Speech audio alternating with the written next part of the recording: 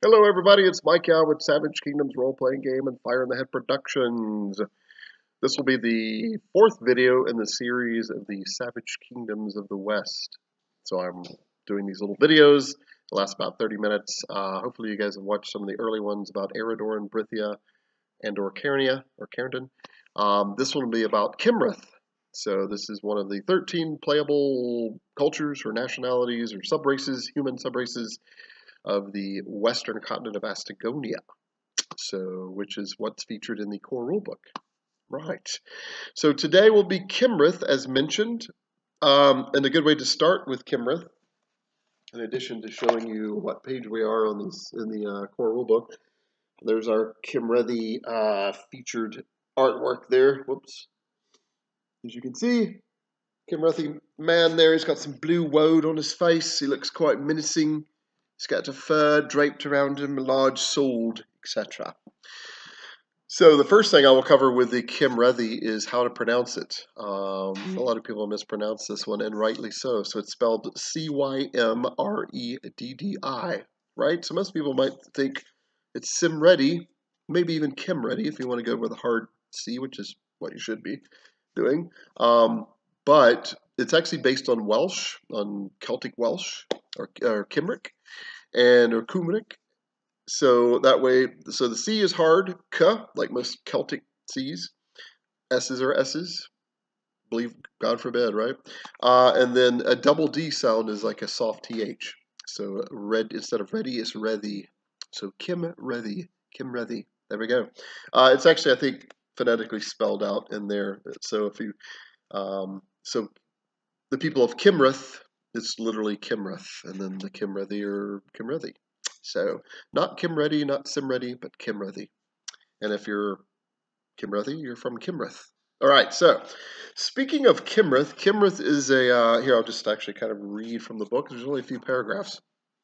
The people of Cymredd are a wild and savage lot, living in various tribes made up of various, of several familial clans. Because of this, Cymredd is not a unified sovereign realm, but rather a collection of powerful tribes, the most the most superior at present being the Cymreddi themselves. As such, the realm or territory tends to bear the general name Cymredd, although in the not so distant past it was known as uh, Gwydion, when an, when an offshoot of the Managwani tri uh, tribe was the most dominant. Why am I staggering over the, my words that I wrote? The Cymreddi live primarily in small woodland villages, although some of the greater clans have great caers, which means fortress. Fortresses, uh, C A E R, some of which are quite ancient and are said to have been originally built by the Sidhe folk. Caer, uh, Caer Avalok, Caer Llewellyn, and Cymredd um, because there's a place actually called Kimberley, are several well-known examples. They are superstitious people.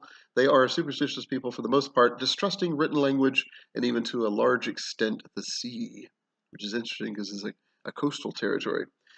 Physically, the Cymreddi are typically of medium height and build, with deep auburn or deep or dark brown hair, fair-skinned and gray, green-gray-eyed. Most paint themselves with blue woad using swirling patterns and knotwork designs which help camouflage them in forest terrain and dedicate them to the gods and the ancient face spirits of field and stream. In real world terms, the wild folk of Cymredd resemble the Kimri, or Cumri, the, the Celtic Welsh. More information about Cymredd can be found in Chapter 20 of the Savage West, also known as the Gazetteer chapter, which I will go to uh, shortly. But all right, so that's the uh, the description of the Cymreddi people fairly brief. I didn't want to like overdo it this time in the core rule book because you can, you can flip to the chapter I just talked about, the Gazetteer chapter, to get more information. This is just to kind of give people, uh, when you choose to play a character that's Cymreddi or wherever, uh, it just kind of gives you a, a kind of a basic thing without slogging it down into too much detail. All right, so next we have their attribute arrays. So how you can arrange your attributes. There's six attributes in the, in the game system, as you all most likely know. Agility, physique, vigor, intellect, magnetism, magnetism, and willpower. Um, so, the Cymreddi feature, without reading it all out, um, the Cymreddi are better at agility, vigor, and willpower. That's their three. So all the human cultures have three attributes that are that they could start a little higher with, or potentially start a little. It depends on what you put there. Um, so in other words, in agility, they could start with a minimum of minus two, maximum of plus four, and absolute maximum is plus six. So that's the, the maximum they could ever, ever attain, attain through advancement. Uh, same with um, vigor, minus two plus four to start with, uh, absolute max of plus six, and willpower minus, minus which is also minus two or plus four uh, to starting range, and then plus six maximum as well. Uh, special abilities that have wild affinity. Cymreddi receive a plus one bonus to acrobatics, athletics, perception, stealth, and survival rolls made in forests or marshlands. Uh, their second racial ability is their um, is Woad Warrior. That's one of my kind of favorite names for a weird racial thing. Woad Warrior, because you know they wear woad and stuff. Uh, Cymreddi characters pay two points less for the body painting talent. Decorating the body with blue and other dyes is a regular part of Cymreddi culture. So they pay two points less for that, which means they get it for one point. So I've seen most char- Cymreddi characters take it because why not? It's only one point. Not not every, but most of them. All right, skill specialties. Cymreddi characters receive three free skill specialties at character creation that help reflect Cymreddi culture and virtues. This is like all the other human nationalities. You get you get to choose the three free skill specialties, even if you don't have three skill levels in a particular skill. This is a culture thing. You, you grew up around it, is basically what it represents. So even though you might not even have any particular training in, say, acrobatics, balancing, or leaping, just the fact that your culture, that you're just couched in that, you're going to be exposed to it to some degree, regardless of what you claim. Um, or don't choose one, and then maybe you, you can claim that to be actually true. So some of the examples would be, uh, let's start with the weapon ones. Um, melee weaponry, so there's specialties they can choose from that is clubs, daggers, hand axes, spears, or war clubs. Uh, range weaponry, clubs, slings, or war darts slash javelins, because it's really the same stats. It's just that uh, they're like really heavy throwing darts that have the same stats as a javelin. Um, endurance, resist poison is an option. I'm just going to grab a few of them really quick here. Animal handling, dogs, hawks, or wolves. Survival, foraging, forest, marsh, or hunting specialties. Um, herbalism, healing, poisonous, or woad making as their specialties. And there's several other options as well. Cool. All right, so favorite talents. Not going to go into all of those. But suffice to say that uh, looks like battle talents are, are, quite the most. It is a, a pretty warrior warlike culture, a very war, uh, hunter gatherer uh, warrior type culture. So one might, might expect the battle talents to be fairly numerous.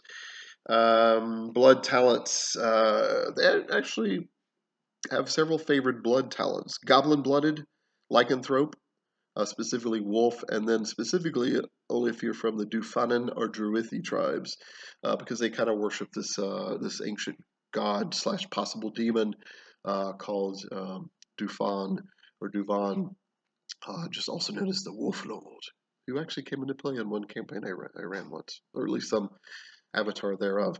Um, mystical talents, they have a few that are favored. And again, just to reiterate, favored talents means you pay one point less for them.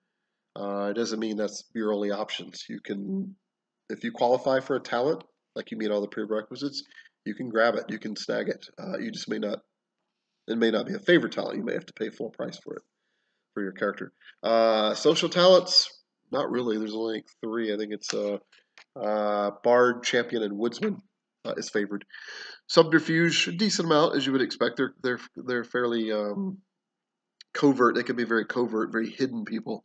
Hunter, Poisoner, Raider, Secret Strike, and Trap Setter are their favorite uh, subterfuge talents. And then they have a fair number of other talents, which includes things like Light Sleeper, Animal Kinship, Fleet of Foot, uh, Beast Companion, etc. All right, favored weaknesses for the Cymreddi. Um, I'll read these because there's only a few. Uh, addiction to woad, because uh, woad is, does have an addictive quality, which I think is why it's illegal in the States now, or used to be. When I was in the SCA, a lot of us uh, gamer types, particularly somewhat more athletic gamer types, have fought in the SCA, Society for Creative Anachronism, and some other groups too that did some like live interactive medieval combat warfare, including some of the the more even some of the LARPs that kind of get a little bit more into the uh, the more heavy quote realistic combat. Um, so having fought some of those, uh, I did wear woad once or twice, like real woad that was brought over from the UK. And I don't remember it really having an addictive quality, but people say that if you wear it a lot, it does have a slight hallucinogenic effect. Uh, so historically speaking, uh, woad wearing peoples, uh, the Celts were particularly known for it. Um, it's thought that they, because they were kind of lightheaded, that they probably were more fierce in battle because they're they would be more fearless, right? Uh, possibly making more foolish mistakes, but you know, uh, more fearless, I would assume. So anyway, so it is possible to be addicted to woad apparently, and so that's why I included that. Uh, all right, so continuing on, geas slash taboo, favorite weaknesses, oathbound, phobia of large fires or the sea, savage, short, zealot of Duvan, uh, Druithi variant tribe only. Um, so yeah, you can choose any other weaknesses, but these are the favored ones, meaning that you gain a bonus point if you choose one of them because they're kind of, you know, they show up more in this culture. Starting languages, you start with Cymreddi as your native tongue. Imagine that, shocker. And you automatically know a second tongue if your intellect is minus one or better. This is like with all the other cultures. From among the following um, Brithian, Cairnian, Ismundian, Gaelic, Goblin tongue, or Sidhe. So that's your free language option if you have an intellect of minus one or better, meaning that uh, intellect of slightly below average or better. Um, yeah, in the Cymreddi languages, um, I mean, I haven't really, I've written a few words of it, but usually I kind of use Welsh, Welsh words, uh, care and broad, I think means raven, and uh, Bryn means hill. So I know some um, ancient Welsh. Should I? Kind of use that when we're playing around. I haven't really written a language, but if I did, it would be it would sound like like that. So those of you who are role playing Cymreddi and you and you know maybe a little bit about Welsh, particularly Welsh Arthurian, Mabinogion era, uh, Cymric Welsh. Um, pre Anglo Saxon in particular, pre Roman, certainly. Not that the Romans had much of a foothold in Wales. Um, if you know anything about that, that's you can maybe draw some of that resonance from that if you want to really know how the language sounds like if you if you care. So, all right, sample names: Braun, Kim uh, Kinwulf, Ian, Llewellyn, Maddock, Mordrin, and Taliesin or Tali, uh, or Taliesin which is male. Those are male names. Some of those are drawn from, uh, you probably recognize some of the, Braun is fairly common. I don't think it isn't much anymore, but I think it means raven. Uh, but it was in ancient Welsh, it was very common. Ian, you still hear that name. It's spelled, typically spelled I-A-I-N in a more uh, Welsh Celtic way, whereas nowadays we typically spell it I-A-N, but it's the same sound. Um, just like the word Britain, it looks like it's spelled. It would be Britain, but it's Britain. It's just like that's so that that's kind of where that naming scheme comes from. Uh, the old uh, what Pictish or Celtic uh, name for uh, Britain uh, was uh, Pryden. it looks like it's spelled Prydain, but again, using the same pronunciation, it's it's an an sound at the end and not an ain. So that's why you get Ian and not Ian or Ian. Yeah. Moving on. All right. So Llewellyn, pretty, no, still a fairly popular Welsh name, I believe. Maddock is a cool name. Mordrin, uh, that's kind of where the the Arthurian sort of sinister antagonist comes from. A lot of those names are, are couched are couched in Welsh. Uh, and then there's uh, Taliesin or Taliesin. Um, also very potent and a very kind of myth- mythical Welsh name. All right, female names that are samples: uh, Bronwyn, Cameron, Gwyn, Gwyneth, Morgana, Seren, and Silura. So to cover some of those names really quick, some of these names you've heard before. Gwen, you still hear occasionally. Gwen actually just means white or fair. Um, Gwyneth. So let's see, what's what's her name? Gwyneth Paltrow, right? Kind of a somewhat well-known actress.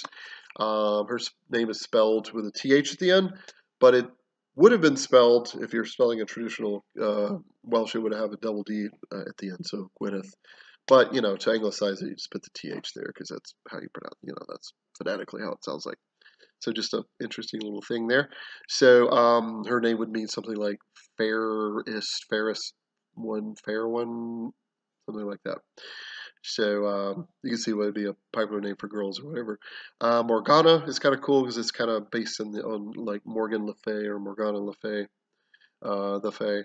And then Seren, I think, means star in um, Welsh. Seren, cool, cool name. And Silura is kind of a cool Celtic name too. I think I used to know what that. Something to do with the moon, I think. I don't know. I Could be wrong. Probably I'm wrong.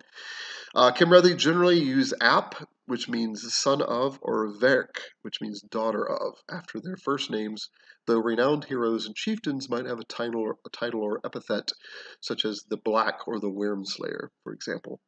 So yeah, so if you hear like Kim Wolf ap Ian, that means uh, uh, Kinwulf, son of Ian, for example, or Llewellyn ap Madoc, uh, Llewellyn, son of, of Madoc.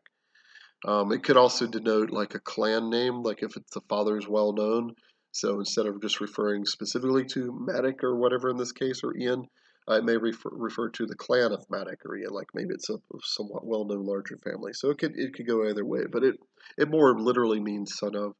Um, all right, and Verch means daughter of, which is spelled V uh, V E R C H, hard C H, not not Virch. So Verk. Um, and that just means daughter of. So, for example, Bronwyn Verch Gwyn would be Bronwyn, daughter of Gwyn, or Bronwyn Verch uh, Kinwulf, daughter of Kinwulf, etc. So, right, moving on. Um, cultural items. You may choose one of the following items at character creation, just like all the other uh, human and non-human options. Uh, or you can choose two by spending a luck point to complement the rest of your gear that you may otherwise purchase uh, or start with. Uh, let's see. Some I'll just go with those really quick. Cold Iron Dagger harms fairy creatures better than four fire forged iron or steel. So this goes back to the whole fairy lore thing, particularly in Savage Kingdoms, where cold iron, iron that's not been touched by fire, that's not been, in other words, basically non-steel uh, cold iron that you have to hammer out and forge without the use of fire, which is pretty difficult. That apparently does uh, extra damage to Fey creatures in Savage Kingdoms, uh, and a lot of other role-playing games too. D&D, for some reason, 5th edition doesn't really, I mean, you could put that in there if you want, but it seems to have ignored that for some bizarre reason. Um, maybe it's just too muddled or something. So, uh, yeah, so that's kind of cool. Vial of Special Woad grants plus one to Vigor for one hour. It's two uses. Knotwork or animal motif tattoo of blue or black ink grants plus one to Renown. So, you know, you have this cool, like, tattoo pattern, and, you know, he's sort of known for it.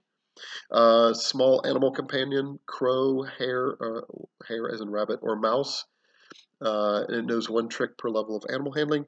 Two cold iron tipped arrows or sling bullets. Does greater harm to fairy creatures. Again, the cold iron thing. Ancient copper dagger of exceptional quality. Uh, used base dagger stats plus one to your renown which is pretty good because copper um, is a weaker metal than iron and certainly steel. Uh, but because it's exceptional quality, you still get to use the, the regular dagger stats. Uh, copper, to a lot of ancient peoples, kind of had some uh, kind of cool resonance and almost like sacrificial sort of powers to them and that sort of thing. So that's where that's coming from. Talismanic fetish item. Fetish is in uh, the shamanic term fetish.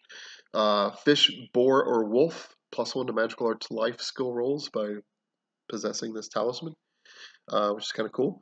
Uh, Sidhe forged dagger or pair of arrows, exceptional quality, plus one to maximum damage, uh, which you know, which is all max uh, exceptional quality weapons do that. So Sidhe forged dagger or pair of arrows that do that. Solid bronze or silver plated torque, plus one to your renown, and it's worth 10 plus 1d20 silver coins in case you wanted to pawn it or sell it or something. So what's a torque, you might ask? Most of you probably know. Spelled T-O-R-C, uh, typically not T-O-R-Q-U-E, which means something else. But a torque is a, um, like the last video, I have one. Um, I'm going to get it this time. Hold on. Aha. That's what I meant to show last time when I was doing the Carnia thing. This is a torque. So you wear it around your neck. I like it. I've had this one for 20, 18 to 20 years. It's made by the Crafty Celts. Shout out to them. I think they're based in South Carolina, so just one state below me. Um, I see them at Celtic festivals and Dragon Con and that kind of stuff. So this is a torque. It's a, Celtic neck piece. It was often worn uh, by chieftains, but also by champions, people of some status. Uh, men and women both wore them in Celtic society. So, and the reason I'm going over Celtic society because the Cymreddi again are based on Celtic Welsh. Men and women are very equal, um, which is really cool. We kind of got away from that, and now we're getting back to it a little bit, which is cool. Some of it's a little overforced, but anyway, we're getting back to it, which is cool. Uh, so yeah, so men and women both wear torques. Women typically had the like lighter ones. Men would have like the thicker ones, kind of like this. Some would be even bigger, like a chieftain, and they would end in uh, this is called a terminus. Um, those are wolf. Those are uh, those are called draconic wolf heads. So as you can see, they're styled. They're wolves, but they're kind of stylized. So a dragon wolf was kind of like a cool sort of Celtic combination creature, almost a, a gorgonic, a chimeric sort of thing. Um, because wolves and dragons were, you know, they were a big thing in boars, particularly in uh, Celtic mythology and, his, and history. So anyway, that's my talk. That's a long way of going about showing that off, isn't it? So, uh, general code of honor for the Cymreddi. Uh, these are just general, you know, life code that they typically live. Doesn't mean everybody, every character has to, but it's a good guideline to how to play your character if you need to look at it, look back at it uh, or even to look at it and go, I'm, I'm going to be the opposite of that. I'm going to be kind of different. So it gives you a basis instead of just this random free for all and you have no idea how to play the character. So, General Code of Honor avenge all clan members slain unjustly, either by blood or sarhaed, which means life price. So, you've probably heard Wergild, right? It's more of a, an, an Anglo Saxon and Viking term, meaning mangold. So, sarhaed is, uh, is kind of the Welsh uh, version of basically means the same. It really means life price, but it's essentially Wergild man man gold. So meaning that um, everybody kind of has a price in society, like a worth. Um, if you kill someone unjustly, particularly in your clan or tribe, you may have to pay the, the clan or family sarhaed, so some compensation for killing that uh, that person, in addition to whatever other repercussions that may be headed your way. All right, avenge. But if you if you pay it, hopefully retributions won't be coming your way. So to make that clear, avenge serious personal insults by single combat or by physical competition. Uh, so again, it's a very it's a warlike culture and a very honor based culture. So they don't take insults that unless you clearly are among people and you're drinking and or whatever and you're having a good time and you're clearly among kinsmen that you know and trust and you're ribbing each other and that stuff. Uh, I'm rehearsing a play right now called The Weir, where we're always we're uh, in, it's Irish, of course. We're going back and forth, insulting all, each other all the time, but we know each other, so it's not a big deal. So it's kind of that kind of thing. But a serious insult, someone outside your clan you don't know, like makes some kind of remark. Yeah, it's like, what, come on, what are you doing?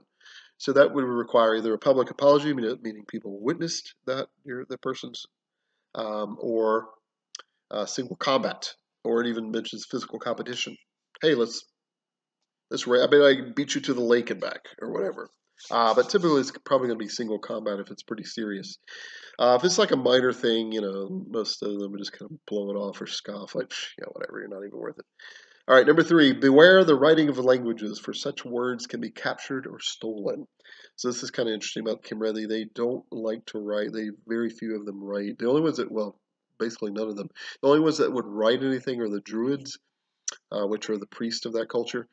They um, draw. There's a druidic secret language, which is kind of um, it's a somatic thing I'm doing with my hands.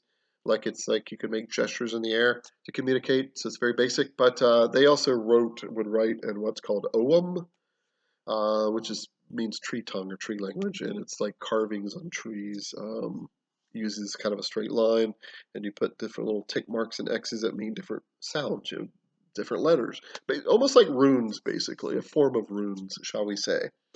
Uh, other than that, nobody would read or write. It's all uh, the, the the point being that they fear if you write something down, and this is was true big time, especially in the Roman era, where the Romans began writing everything down, things would get captured, and then suddenly that person, particularly an enemy, has all access to all of that. Once they can figure out the language, break the code, uh, or they can they find someone who speaks it or reads it, then suddenly they have all of that stuff. So re- reading and writing obviously is a cool thing, but there there are drawbacks to it. There were reasons certain cultures uh, sort of pushed back on it for a little for a little while. But you know now they almost the entire world reads and writes, which is cool. So, but anyway, that's the the cool role playing reason why uh, being captured or stolen. So. Uh, a little deeper than that, they also believe that words, uh, that written word has um, it has like a, there's almost like a taboo to it like only those that are like the druids that are really blessed by the gods leaders in the in the community so maybe even a chieftain might learn read or write slightly uh, should really have access to that and the common person doesn't need to worry about that um, another cool side effect to and this has been proven by historic well sort of proven by historians uh, a lot of the celts had an oral based society particularly bards real historical bards they memorized all of these songs and epics and poems. Um, and speaking as an actor, trying to memorize dialogue and monologue, that's part part of what we do. But it's amazing to think back. Like sometimes I'll struggle with a two page monologue. Uh, I mean, I'll eventually get it, of course. And but to think back that some of those people back then were memorizing hundreds of pages if they were written down. Uh, so the historians have proven that it seems like memory, some of those cultures, uh, the memories of people, just the sheer brain power uh, of, of, particularly memorization was probably superior in some ways to even us nowadays because they we rely so much on computers and writing. Back back then, it was all it was all here. You had to memorize, you had to do the thing, and just do it. Um, probably if you forgot a few things. You uh, Bard was probably really good at ad libbing, so as long as you kind of know where you are, you can add a few words here and there. But uh, and then words, uh, songs, and poems would have changed uh, just through the telling. Uh, you know, oral history does that, so every song kind of grows and changes a little different, and you have all these different little versions. Uh, Shakespeare, who wrote things down, there's something like 30 different versions of Romeo and Juliet because you know different versions were written down or somebody committed something to memory and then they tried to write it down later. So anyway, that's a long about way of saying uh, memorization is also a really good thing, and don't forget it. All right, continuing on. Honor and obey clan and tribal chieftains unless they have shown to, to be shown themselves to be corrupt.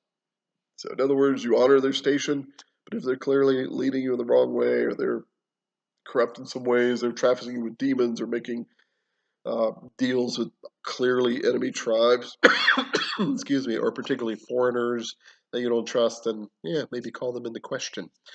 All right, honor and obey all tribal druids and shamans unless proven dishonorable. So more or less what I just said. The first one talked about chieftains. This one's about druids and shamans, unless proven dishonorable. Honor and respect nature and the general gods. Use what you kill and only kill when in need. So nature is uppercase N there the god. So pretty much all the druidic pantheon is really fairly pretty nature based. You know, it's a very wild. You see a very primal elemental culture. Uh, so it says use what you kill and only kill when in need. So in other words, when, when you hunt, um, a lot of ancient cultures were good about this. The ancient Celts, Native Americans, um, when you and, and most hunters nowadays, I think, are good about this too. So when you kill an animal, hopefully it's not out of sport. Uh, if it is, then that's your thing. But use it like honor it. Use it like use it for food. Use um use the use the uh the muscle for the sinew for bowstrings. Use the the antlers for digging tools. So uh, a lot of ancient peoples were really good about using the, the body parts of the animal they killed because it, at least that means the creature didn't die in vain and at least you're being you're using that creature. You're to to sustain yourself so it's just uh it's just was necessary. Uh, okay, so that's it from the um, core rulebook. Um, I mean, not from the core rulebook, just from that chapter.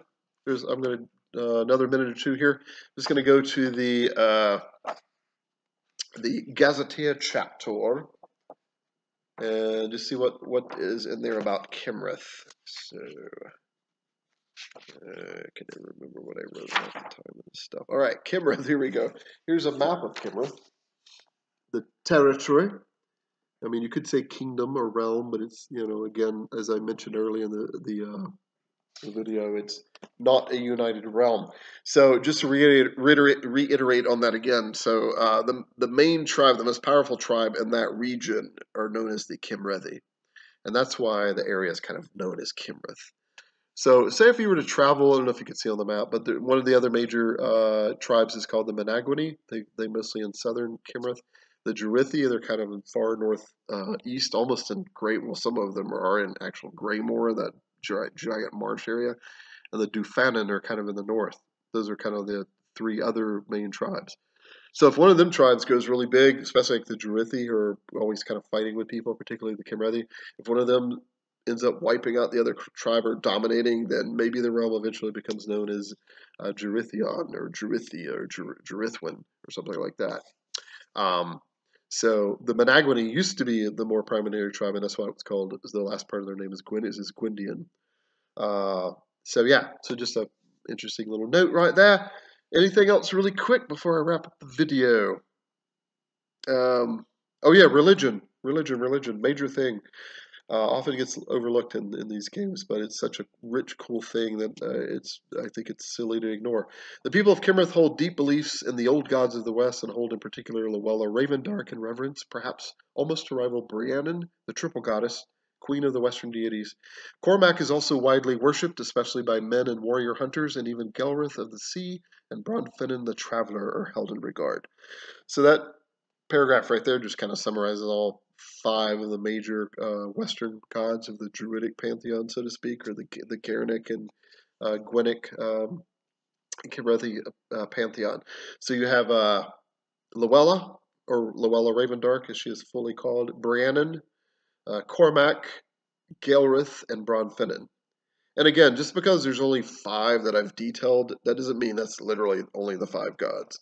There are dozens, probably hundreds of other very minor local gods, uh, fairy spirits uh, that people might think are gods. Uh, again, I think it's easy as gamers to go, these are the categories. There's gods and demons, and there's uh, angels, and there's fairies. It's like, that's great for gamers, for us to know, especially as a game master. But realistically, believably, most people don't know the difference. Like God is is a demon to them. A demon is a is an angel, maybe. But in fact, that would actually be more or less correct. A, a powerful fairy is essentially a god.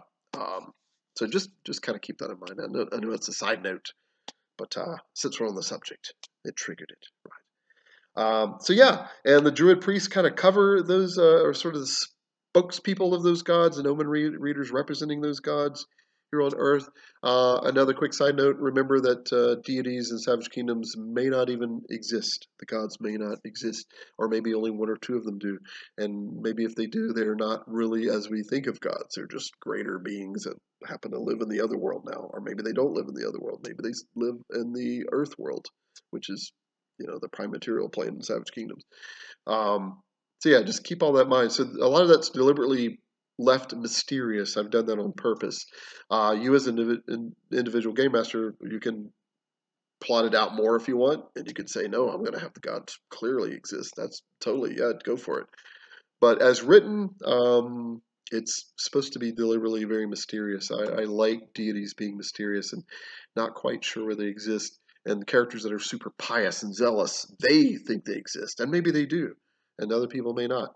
So um, uh, but in general, people do seek spirits and gods in, in this time uh, in history, Dark Ages, uh, as, as well as this fantasy setting based in the Dark Ages. People do see a lot of uh, supernatural and super powerful and preternatural things happening in the environment that they might equate to gods or fairy spirits and that sort of thing.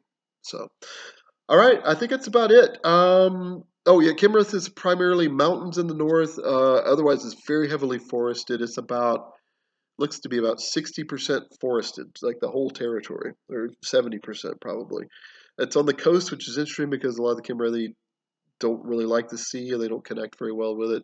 Some will, they do some fishing, but they're not very deep sea explorers. Um, so that that's kind of interesting. I want to do that. I just find that dichotomy very interesting.